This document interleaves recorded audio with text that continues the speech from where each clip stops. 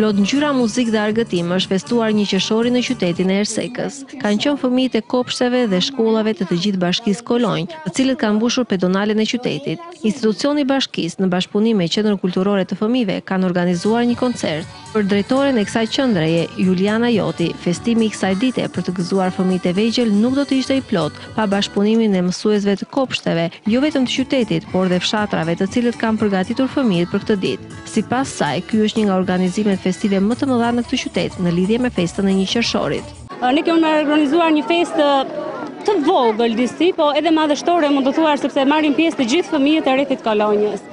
Është një festë që fillon që nga arsimi parashkollor dhe përfundon tek shkolla nëntëvjeçare. Kur ne dhamë idenë fëmijëve që do bëjmë një koncert madhështor në qendër, fëmijët e pritën me shumë shumë dashuri dhe ishin të gatshëm të merrnin pjesë pothuajse të gjithë.